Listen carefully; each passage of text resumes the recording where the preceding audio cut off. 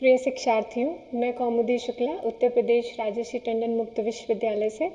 आज के दूसरे लेक्चर, पहले लेक्चर में हमने बात की थी कि जो फिलो जो एजुकेशन के जो विभिन्न एस्पेक्ट्स हैं जो फिलोसफिकल फाउंडेशन ऑफ़ एजुकेशन जो आपका पेपर है, उसमें जो एजुकेशन की बात हमने पिछले पेपर में की थी, आज हम इस सेकेंड लेक्चर में फिलोसफीज ऑफ़ एजुकेशन हमारा टॉपिक है, जिसमें हम फ़र्स्ट ऑफ़ ऑल आइडियलिज्म को कवर करेंगे। आइडियलिज्म यानी आदर्शवाद इस पर हम चर्चा करेंगे।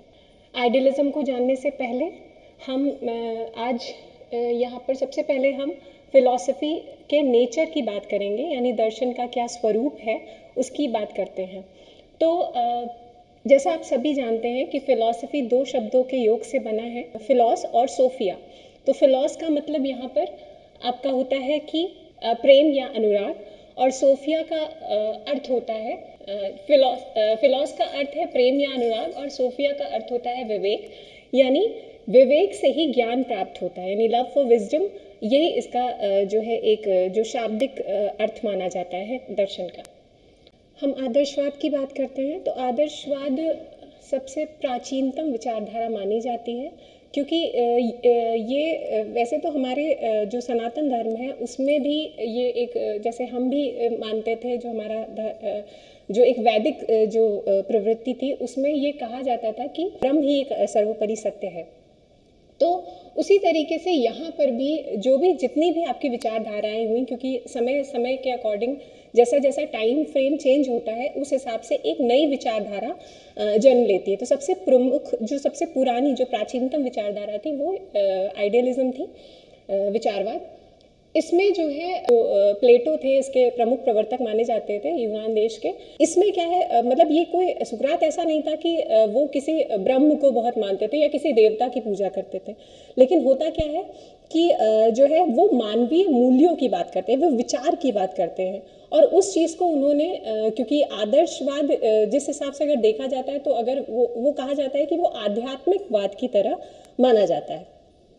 तो यहाँ पर जो है यही आपको बताया गया है कि जो है, जो इसका वैसे तो ये हमारे भारतवर्ष में भी इसका काफ़ी वो रहा इस विचारधारा से लोग ओतप्रोत रहे।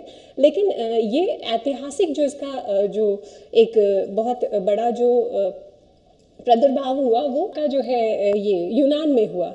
और इसके जो प्रमुख प्रवर्तक हैं, वो आपके प्लेटो माने जाते हैं। ये आपके सामने स्लाइड पे प्रमुख समर्थक, इसके जो प्रमुख प्रोपगेटर हैं, उनके नाम हैं। तो जो पाश्चात्य दर्शन में देखा जाए तो बहुत सारे लोग हैं, लाइबनीज हैं, कांत हैं, फ्रोबल हैं कॉमेनियस हैं, फ्रोबल हैं पेस्टोलॉजी हैं। लेकिन भारत में जो हमारा इंडियन कल्चर है, उसमें शंकराचार्य जी जो है, महात्मा गांधी जी स्वामी दयानंद सरस्वती जी, अरबिंदो घोष जी और राधा कृष्णन जी इसके प्रमुख प्रवर्तक माने जाते हैं। अब यहाँ पर आदर्शवाद की एक डेफिनेशन आपके सामने दे रखी है कि जो है, वैसे तो आदर्शवाद को आध्यात्मिक आध्यात्मिकतावाद से जोड़ा जाता है, क्योंकि इसका जो मेन जो टेनेट माना जाता है, वो स्पिरिचुअल स्पिरिचुअलिटी को प्रमोट करना माना जाता है।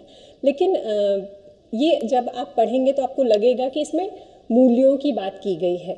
और स्पिरिचुअलिटी का मतलब ये नहीं कि सिर्फ़ भजन करना है। स्पिरिचुअलिटी का मतलब है कि जो हमारे जैसे नैतिक मूल्य हैं, जो उनका ह्रास हो रहा है और धीरे धीरे हम बहुत ज़्यादा मॉडर्नाइजेशन की तरफ़ या मॉडर्नाइजेशन से मतलब है कि हम जो है, जो अपनी नैतिकता को खोते चले जा रहे हैं उनको उसकी बातें कही गई हैं कि मानवीय मूल्य जो है, जैसे ईमानदारी है, सत्यनिष्ठा है, इन सब चीज़ों की बात कही गई है कि इन सब चीज़ों को हमें अपनी पर्सनालिटी में जो है इनकॉपरेट करना चाहिए। तो यहाँ पर आदर्शवाद जो है वो आइडियलिज्म से क्योंकि इसका जो नाम है, वो आइडियलिज्म है और आइडियलिज्म जो आपका है, वो दो शब्दों के योग से बना है आइडिया और इज्म तो आइडिया का मतलब आप सभी जानते हैं कि विचार है और इज्म का मतलब है वो वाद। तो इसीलिए इसे विचारवाद के नाम से भी जाना जाता है। यहाँ पर एक जो है डीएम दत्ता जी की डेफिनेशन भी दे रखी है कि जो विचार आदर्शवाद वह सिद्धांत है, जो अंतिम सत्या, सत्ता आध्यात्मिकता को मानता है। और अगर प्लेटो की बात करें कि प्लेटो की क्या विचारधारा थी तो प्लेटो ने विचार को ही अंतिम तथा सर्वोपरि माना था। और उन्हीं को सार्वभौमिक सत्य माना था और उन्होंने कहा, अपनी जो कोट्स हैं उनमें बोला है कि वो एक ऐसे परमाणु हैं जिनके थ्रू ही हम सारा जो है, हम ज्ञान की खोज कर सकते हैं। तो ऐसा प्लेटो का भी मत था और जहाँ तक जो विभिन्न जो दार्शनिक हैं उन्होंने इसे आध्यात्मिकता से ही, आध्यात्मा, आध्यात्मिकता से लिंक करके तथा विभिन्न जो वैल्यूज़ हैं उनसे लिंक करके इस आदर्शवाद को समझाने की चेष्टा की है। अब यहाँ पर कुछ विभिन्न जो सिद्धांत हैं, जो मुख्य प्रिंसिपल्स हैं, उनकी बात कही गई है, जो आइडलिज्म से संबंधित है। तो यहाँ पर, क्योंकि आइडलिज्म बार बार ही जो है भौतिक जगत की अपेक्षा, जो है आध्यात्मिक जगत की ज़्यादा अच्छी संकल्पना करता है तो यहाँ पर यही लिखा है कि भौतिक जगत की अपेक्षा आध्यात्मिक जगत अंतिम सत्य माना गया है इसमें। फिर जो जड़ प्रकृति है उसकी जगह पे इस, इसने मानव प्रकृति पर बल दिया है। यानी जो मेन है इसने इसने अपने कोट में ये बोल रखा है कि इंद्रिय ज्ञान जो है उससे हम वास्तविकता की खोज नहीं कर सकते। अपितु तो हमें जो मूल्य है जो आत्मा है उसके ज्ञान से हम जो है जो संपूर्ण ज्ञान है उसको प्राप्त कर सकते हैं। फिर यहाँ पर वस्तु की अपेक्षा विचारों पर ज़्यादा महत्व दिया गया है, क्योंकि ये मटीरियलिस्टिक जो विचारधारा नहीं है, ये आध्यात्मिकता पे बल देती है तो इसने विचारों पर ज़्यादा बल दिया है रेदर दैन जो है आपका मटीरियल वर्ड फिर आपका आध्यात्मिक सत्यों तथा मूल्यों का प्रतिपादन। यहाँ पर आध्यात्मिक सत्यों तथा मूल्यों का प्रतिपादन करने, करा गया है। फिर यहाँ पर पर्सनालिटी डेवलप व्यक्तित्व विकास पर बल दिया गया है। मानसिक अनुशासन पर बल दिया गया है। सर्वोच्च ज्ञान आत्मा का ज्ञान कहा गया है। यानी इसमें ये बताया गया है कि जो सर्वोच्च ज्ञान है, वो आत्मा का ज्ञान है। सेल्फ रियलाइजेशन सेल्फ ऑब्जर्वेशन और जो है, जो सेल्फ एनालिसिस है उसके उस पर ज़्यादा बल दिया गया है। यहाँ तक कि ये भी कहा जा सकता है कि इंट्रोस्पेक्शन मेथड जो आप आ, आप सभी जानते हैं आ, उस पर ये बल बल देता है कि आपको अंत दृष्टि के थ्रू अपने आप को देखना है कि आपके अंदर क्या कमियाँ हैं और उस पर वर्कआउट करना है। इसने ये बताने की चेष्टा की है कि जो आध्यात्मिकता का आधार है वो आत्मानुभूति है। तो जो है, जो जो इसका आध्यात्मिक पक्ष है, वो कहीं ना कहीं आत्मानुभूति की संकल्पना को करता है। इसमें सत्यम, शिवम, सुंदरम जैसी संकल्पना की गई है। सत्यम, शिवम, सुंदरम, आप खुद समझ सकते हैं कि जो है, ये कितने जो है, कितनी पायस चीज़ों को अपने अंदर रख के और ये आगे बढ़ा। तो इस तरीके से ये आदर्शवाद, आप के जो आधारभूत जो सिद्धांत हैं वो कहीं ना कहीं आपकी जो मोरल वैल्यूज़ हैं एथिकल प्रिंसिपल्स हैं, जो एक स्पिरिचुअलिटी है, नैतिकता है जो आपका सेल्फ डिसिप्लिन है सेल्फ रियलाइजेशन है सेल्फ एनालिसिस है इन सब चीज़ों पर बल देता है। अब हम बात करेंगे आदर्शवाद और शिक्षा के उद्देश्य, यानी यहाँ पर कौन कौन से एजुकेशनल एम्स बताए गए हैं, उन पर हम चर्चा करेंगे। तो यहाँ पर जो है, क्योंकि पहले ही आपसे बात बता चुकी हूँ मैं कि जो है ये जो पर्सनालिटी डेवलपमेंट है, उस पर ये फोकस था। पर्सनालिटी डेवलपमेंट के साथ ये सेल्फ रियलाइजेशन पर फोकस था। तो वैसे ही यहाँ पर दिखा हुआ है, आपको दिख रहा होगा कि व्यक्तित्व का उत्कर्ष एवं आत्मानुभूति, फिर जो आत्म प्रकाशन का अवसर देना सामाजिक व्यक्तित्व के सामाजिक पहलू का अधिकतम विकास या आत्म प्रकाशन का अवसर देना, फिर शाश्वत आदर्शों और मूल्यों की प्राप्ति यानी जो भी हमारे जो इटर्नल वैल्यूज़ हैं, जो हमारे इटर्नल जो एम्स हैं, उन पर ये वो करता है कि जो जो कभी न मिटने वाले, जो शाश्वत मूल्य हैं हमारे, जो हमारे आदर्श हैं, उन पर ये फोकस था। फिर कल्चरल जो डेवलपमेंट है उसका उसके लिए भी ये फोकस रहा। फिर पायस लाइफ को प्राप्त करने के लिए, क्योंकि कहीं ना कहीं ये, इसका जो रुझान है, वो आपकी जो नैतिकता है उस पर है। तो ये हमेशा ये बात जो है, इस पर फोकस रहता है कि जो भी हम करें, वो बिल्कुल पवित्रता के साथ करें। मतलब जो भी हम चीज़ें कर रहे हैं, उसमें बहुत ज़्यादा करप्शन ना हो, बहुत ज़्यादा इल प्रैक्टिस ना हो, हम हमेशा जो अपने नैतिक शाश्वत मूल्य हैं, उनको साथ में साथ, अपने साथ रख करके और उसके बाद में हम आगे बढ़ें।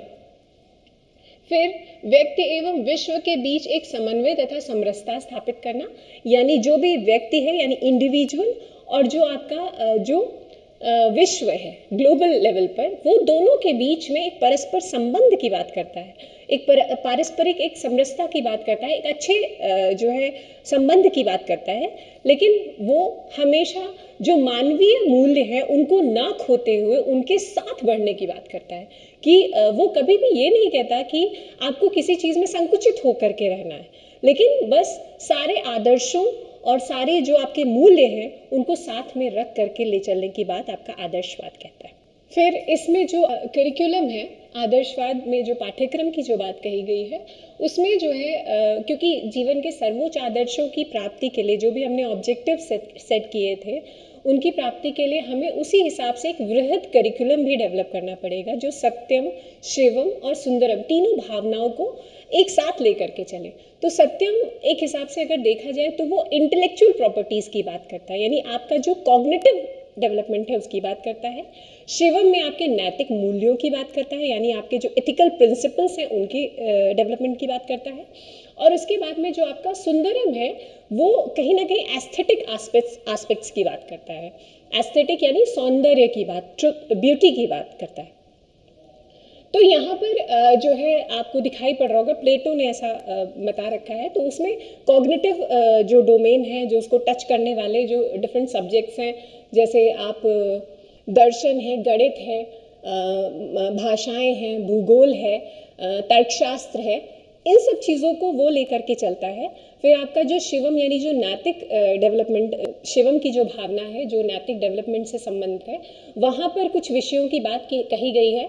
जैसे नीति शास्त्र धर्मशास्त्र आदि। और उसके बाद में जो आपका एस्थेटिक आस्पेक्ट आस्पेक्ट्स है, उसमें जो बातें कही गई हैं, वो वो है कला, संगीत और साहित्य। यानी एस्थेटिक जो डोमेन है, उसमें कला, संगीत और साहित्य जैसे विषयों की बात प्लेटो जी ने कही है। तो यहाँ पर जो उसी की संपूर्णता आपको दिखाई पड़ रही होगी कि इसमें कहा गया है कि पाठ्यक्रम ऐसा हो जो मानव मूल्यों पर केंद्रित हो। मानव जाति के अनुभवों को व्यक्त करता हो। ठीक है? जो भी जो जो एक्सपीरियंसेस हैं, जो जो एक लाइफ लॉन्ग जो इंडिविजुअल जो एक्सपीरियंसेस गैदर करता है थ्रू कम्युनिटी उसके बारे में बात किया गया है कि उन सबको परिलक्षित करता हुआ आपका पाठ्यक्रम होना चाहिए कि आपको दिखाई पड़े, आपको समझ में आए कि जो चीज़ें आप पढ़ रहे हैं, उसका भौतिक जगत में भी उसका कुछ रेलेवेंस हो। ऐसा नहीं कि हम पढ़ाई कुछ और कर रहे हैं और हम जब हम आ, आ, आ, जो है वर्क ग्राउंड में जाते हैं सोसाइटी में जाते हैं तो वैसा कुछ है ही नहीं। तो इस तरीके की बात करता है कि एक सामंजस्य हो दोनों चीज़ों के बीच में। फिर उसके बाद में मानव जाति के समस्त प्रकार के अनुभवों को संगठित किया जाना चाहिए। यानी पाठ्यक्रम ऐसा हो जो सभी के जो जितने भी अनुभव हैं जो एक्सपीरियंस हैं फिर उसके बाद में व्यक्ति को अनुभव, भौतिक वातावरण और सामाजिक वातावरण से प्राप्त होते हैं।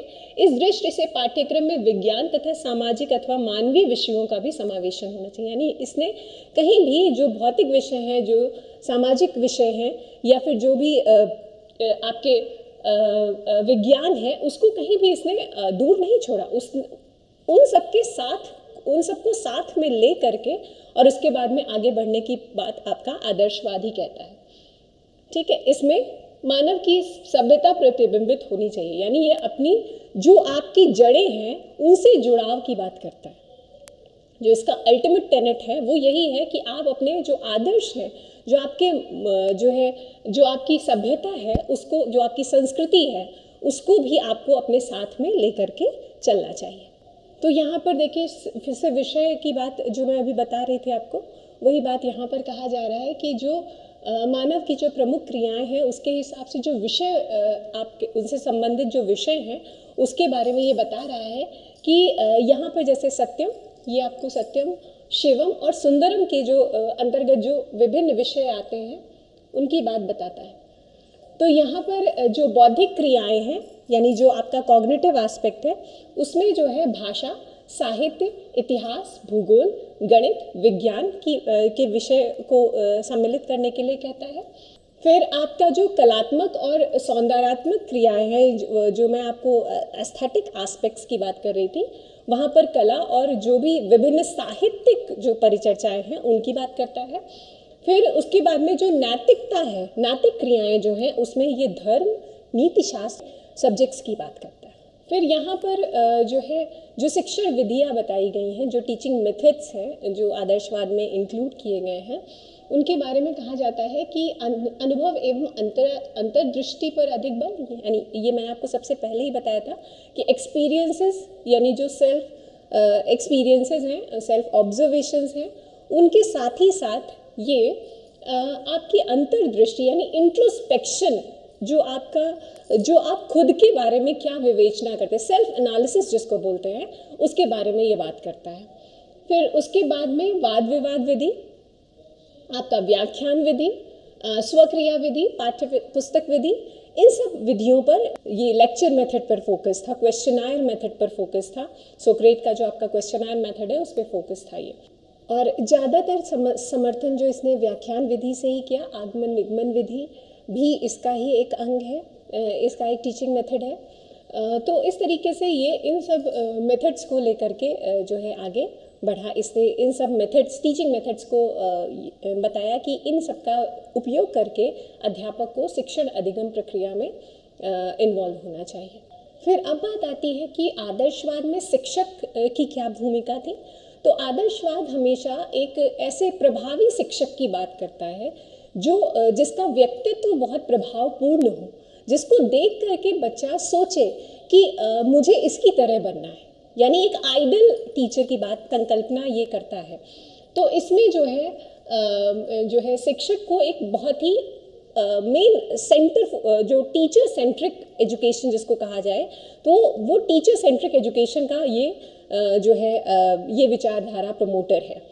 तो यहाँ पर क्या कहा गया है कि जो जो टीचर है, वो वो कहीं भी, किसी भी एस्पेक्ट में, चाहे वो नैतिकता के मामले में हो, चाहे वो आपके कॉग्निटिव एस्पेक्ट्स में हो, ठीक है, वो हमेशा टीचर सर्वोपरि होना चाहिए। उसके मतलब वो एक ऐसा टीचर होना चाहिए जो क्लास में इन सब चीज़ों को परिलक्षित करे कि उसके अंदर सारे ही नैतिक गुण भी हो, सारे ही वो हर एक चीज़ का ज्ञाता हो क्योंकि जब वो ज्ञाता होगा, तभी वो सामने जो शिक्षार्थी बैठा है, उसके ऊपर एक प्रभाव डाल सकेगा। तब वो बच्चे उससे इंस्पायर होकर के सोचेंगे कि मुझे भी इनकी तरह जो है नैतिक चारित्रिक जो मतलब जो चारित्रिक खूबियाँ हैं, वो मुझे इनकी तरह लेनी है, या फिर इन्हीं की तरह मुझे विद्वान बनना है। तो इस तरीके का उसका वो होना चाहिए कि वो जो है ऐसा सोच सके। फिर ये सर्वोन्मुखी व्यक्तित्व के विकास है तो शिक्षक की आवश्यकता, यानी जो शिक्षक है, वही बच्चों को, क्योंकि एक जहाँ तक अभी बताया आपको कि वो व्याख्यान विधि, यानी रोट लर्निंग को ही प्रमोट करता है आपका आदर्शवाद तो यहाँ पर क्या है कि जो भी डेवलपमेंट होगा बच्चों का इन टोटल वो सारा बच्चे बच्चे का टीचर के ही थ्रू होगा, यानी टीचर ही उस क्लास का होल सोल जो है एक पावर है। तो उसको क्या कहा गया है कि उसका एक सर्वोन्मुखी व्यक्तित्व जो बच्चे का होना है, उसके लिए टीचर का जो स्थान है वो महत्वपूर्ण होगा।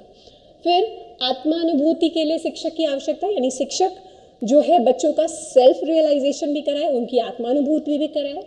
फिर आध्यात्मिक विकास जो बच्चों का होना है, उसके लिए भी आध्यात्मिकता का जो का जो विकास होना है, उसके लिए भी बच्चों जो है टीचर सर्वोपरि है, यानी वो किसी ऐसे कुछ एक्टिविटीज़ कराए जिससे बच्चों को इन सब चीज़ों का भी महत्व पता चले, ये सब चीज़ें बच्चे रियलाइज़ कर पाए अपने लेवल पे। फिर सामाजिक विकास के लिए शिक्षक की आवश्यकता, यानी जो जो सोशल डेवलपमेंट है, जो सामाजिक विकास है, उसके लिए भी शिक्षक की जो है आवश्यकता है क्लासरूम में। फिर सत्य को प्रमाणित करने के लिए शिक्षक की आवश्यकता। यानी सत्य जो है, उसको भी प्रमाण, प्रमाणित करने के लिए भी शिक्षक की आवश्यकता यहाँ पर बताई गई है आदर्शवाद। या ऐसा कहा जा सकता है कि अध्यापक को ही श्रेष्ठता और जो परिपूर्णता का मानक माना गया है इसमें, और ऐसा माना गया है कि उसका ऐसा प्रभावी व्यक्तित्व होना चाहिए जिसके थ्रू बच्चा जो है मतलब अध्यापक के ही प्रभाव से बालक का जो संपूर्ण विकास होना है वो जो है उस संकल्पना के साथ ये विचारधारा जो है शिक्षक के स्थान को प्रमुखता देती है। अब यहाँ पर जो आपका जो शिक्षालय है, यानी जो विद्यालय है, उसको आदर्शवाद ने एक बहुत ही पायस मंदिर की संज्ञा दी है। वहाँ पर कहा गया है कि उस उस उस संपूर्ण शिक्षालय का जो वातावरण है वो बहुत पायस होना चाहिए, बहुत ही ज़्यादा मानवीय मूल्यों से सुशोभित होना चाहिए। यानी वहाँ पर कहीं भी छल, कपट और जो ये जो अमानवीय मूल्य हैं, उनकी कहीं भी एक भी वो नहीं होनी चाहिए, एक भी उसकी झलक नहीं होनी चाहिए, उसका प्रतिबिंबन नहीं होना चाहिए। जिसके लिए जो है आदर्शवादियों ने बताया है कि जो शिक्षालय है वो जो है फॉर्मल एजुकेशन बेस्ड हो यानी वहाँ पर एक फॉर्मल एजुकेशन हो बच्चों की। फॉर्मल एजुकेशन का मतलब है कि एक टाइम बाउंड एक डेफिनेट पैटर्न में और एक डेफिनेट पर्सन के थ्रू ठीक है? वो एजुकेशन प्राप्त होनी चाहिए।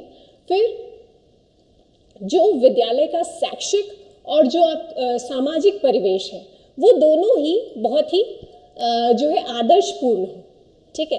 कि वो जो वहाँ पर बच्चा ज़रा भी जो है जो अपना आदर्श है, उनको भूले नहीं, जो वहाँ पर जो भी स्टाफ है या फिर जो भी कह दे कि वहाँ पर जो भी आपस में जैसे पीयर ग्रुप है या टीचर्स हैं, उन सब के अंदर उन नैतिक मूल्यों का जो है प्रादुर्भाव होना चाहिए, जिससे कि वो पूरा का पूरा वातावरण ही इस तरीके से निर्लिप्त हो कि बच्चा वो सब चीज़ों को समझ सके कि इन सब जो, क्योंकि सेल्फ रियलाइजेशन इतना आसान नहीं है।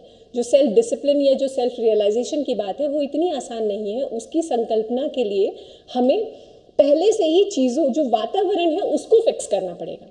तो वो यहाँ पर वही बात कही गई है।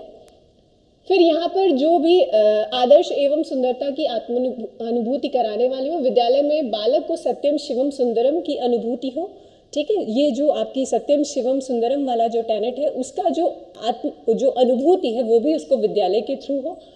फिर विद्यालय को माली विहीन वन की भांति नहीं होना चाहिए, जहाँ पर पौधे अनुशासित रूप से बढ़कर झांकड़ के रूप धारण कर ले। यानी वहाँ पर अनुशासन होना चाहिए। विद्यालय में अनुशासन की बात कही गई है, जिसमें ऐसा कहा भी जाता है कि जो अनुशासन है या जो व्यवस्था है, जैसे यहाँ पर आपको दिखाई पड़ रहा होगा कि कक्षा व्यवस्था पर बहुत बल दिया गया है, अनुशासन पर बहुत बल दिया गया है। ठीक है? वे कक्षा को सुंदर शोभनीय अनुशासित व्यवस्थित देखना चाहते हैं। यानी वो चाहते हैं, जो आदर्शवादी हैं, वो इस चीज़ की संकल्पना को लेकर के चलते हैं कि जो भी क्लासरूम का इन्वायरमेंट है, वो सुंदर भी हो, शोभायमान भी हो, शोभनीय भी हो, उसके साथ ही साथ उसमें अनुशासन, वो अनु अनुशासित व्यवस्था पर आधारित अब यहाँ पर जो आपका शिक्षार्थी है, वो चाइल्ड कैसा होगा, उसकी बात करता है। तो जैसा कि आपने अभी जब शिक्ष जब शिक्षक के बारे में पढ़ा तो आपको कहीं ना कहीं ये फीलिंग आई होगी कि ये टीचर सेंट्रिक एजुकेशन की बात करता है। तो ये जो विचारधारा है, वो कहीं भी चाइल्ड सेंट्रिक एजुकेशन का फेवर नहीं करती। वो हमेशा टीचर के बिहाइंड ही चाइल्ड को रखना चाहती है, यानी टीचर ही फॉरमोस्ट है वहाँ पे। तो यहाँ पर यही बताया गया है कि ये बाल केंद्रित ना होकर आदर्श एवं नैतिक जो है केंद्रित है, नैतिकता के केंद्र में रखती है। यानी यहाँ पर जो है आदर्शों, विचारों को प्रमुख, आदर्श और जो भी विचार हैं, उनको प्रमुख मानकर बालक को और बालक को सेकेंडरी ना कहकर ये कह दें कि उसको गॉड स्थान दिया गया है। उसके साथ ही साथ जो प्राइमरी आपका जो रखे गए हैं, वो आपके जो है शाश्वत मूल्यों को रखा गया है। तो यहाँ पर यह लोग यद्यपि शिक्षा को बाल केंद्रित नहीं मानते तथा बालक के व्यक्तित्व को महत्वपूर्ण मानते हैं, लेकिन फिर भी बालक को जो है, अगर गौड़ स्थान दे करके भी ये बालक के व्यक्तित्व के विकास पर अधिक बल देते हैं। फिर आपका अनुशासन की बात कही गई है इसमें जो अनुशासन है क्योंकि इसमें जैसा मैंने आपके शिक्षक वाला जो सम, जो डोमेन बताया था कि इनमें जो है आदर्शवाद में शिक्षक की कैसी संकल्पना की गई है उसी में उसी से आपको समझ में आ गया हो कि यहाँ पर अनुशासन बहुत ही महत्वपूर्ण माना गया है। लेकिन इसमें कोई दंड का प्रावधान नहीं बताया गया है कि आप अगर बच्चा कुछ भी शैतानी कर रहा है तो आप उसको दंड दीजिए। दंड देने की अपेक्षा उसको सेल्फ अनुशासन, जो सेल्फ डिसिप्लिन है, उस पर ये फोकस करता है। यानी उसको आत्मानुभूति हो कि मैंने ये गलती की है और वो उस उस आत्मानुभूति के थ्रू ही उस अपनी गलती को संभाल सके, सुधार सके। तो इसकी बात ये करता है। तो यहाँ पर यही आपको दिखाई पड़ रहा होगा कि आदर्शवाद अनुशासन पर बल बल अवश्य देता है, किंतु वह दमनात्मक अनुशासन के पक्ष में नहीं है। वो कहीं भी दंड के प्रावधान को नहीं उसके बारे में नहीं कहता कि बच्चे को जैसे ही वो गलती करे, वो दंड देना है।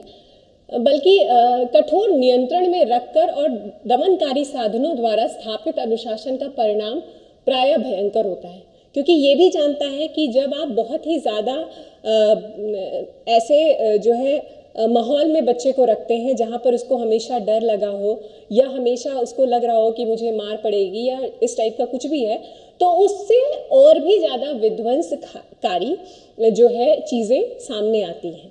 तो अगर ये देखा जाए तो आप खुद से भी इसका वो कर सकते हैं कि कहीं ना कहीं ये बच्चे का जो साइकोलॉजिकल जो व्यू पॉइंट है, उसको भी फोकस में रखता है। अतः अनुशासन का स्वरूप प्रभावात्मक होना चाहिए। तो यानी जो भी अनुशासन है, वो प्रभावात्मक अनुशासन की बात करता है कि टीचर ऐसा हो कि वो उन बच्चों को सेल्फ रियलाइजेशन कराने में सहायक हो। वो उनको रियलाइज़ करा सके कि जो है वो कहाँ गलती कर रहे हैं और उसको कैसे सुधारना है। तो इस तरीके से हो।